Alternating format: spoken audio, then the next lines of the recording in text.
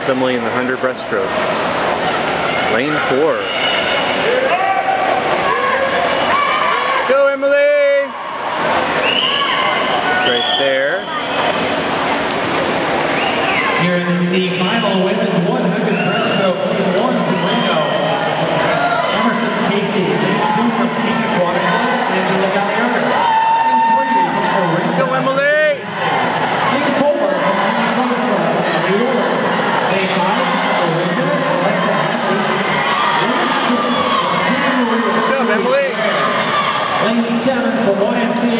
I think her best time is um, 114 high. Go, Emily! Go, Emily!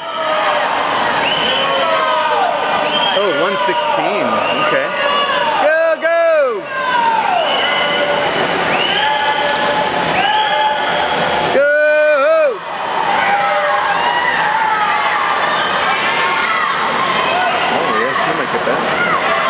Good job, Emily!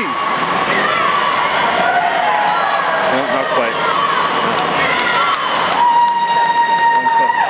Pretty good though. Oh, she got second.